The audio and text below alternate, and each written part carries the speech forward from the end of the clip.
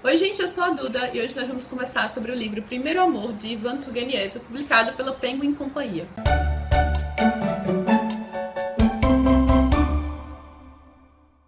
Turgenev foi um autor russo e este é o primeiro livro que eu leio do autor. Ele tem várias obras muito conhecidas, inclusive O Pais e Filhos, que foi publicado numa edição muito bonita pela Kozak Naif. Primeiro Amor vai contar a história de um jovem rapaz que se apaixona por sua vizinha. Como já diz o título, ele nunca havia se apaixonado antes, eu acho que ele tem 16 anos na história.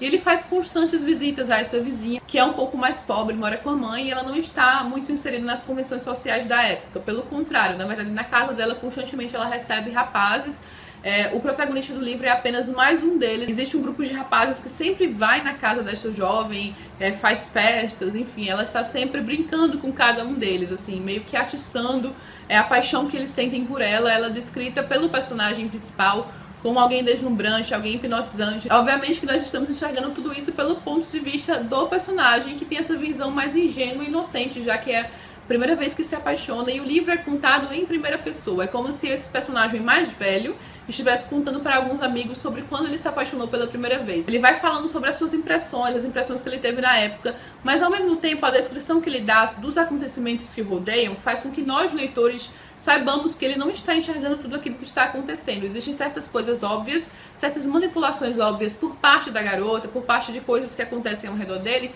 que ele não se dá conta por ele ser tão novo, mas nós nos damos conta perfeitamente. É justamente esse amor incondicional e sem muitas razões de ser que caracteriza o livro. A gente sabe que adolescentes se apaixonam de uma forma muito fácil, desmedida, então é justamente sobre esta situação, sobre este período de sua vida que o personagem está narrando. Eu li que o Turgenev geralmente falava muito sobre questões sociais e políticas na sua época. Ele chegou até a passar um ano exilado numa propriedade dele, ele sempre foi muito rico, ele passou um ano exilado por conta de um dos seus romances em que ele denunciava o regime de servidão que acontecia na época na Rússia, mas justamente em, em Primeiro Amor, isso não vai ser essa parte mais social e política não é mostrada em momento algum. O autor foca mesmo nessa questão mais amorosa, afetiva do personagem. É justamente aquela relação, aqueles diálogos entre determinado grupo de pessoas, de certa forma atemporal, porque os sentimentos mostrados no livro são atemporais, apesar de alguns costumes da época serem pontuados ao longo da história, mas como essa parte mais emocional está em evidência, eu diria que é algo mais atemporal mesmo. E é uma história curtinha, ela é mais uma novela, né, do que um romance. Não é um romance, é de fato uma novela.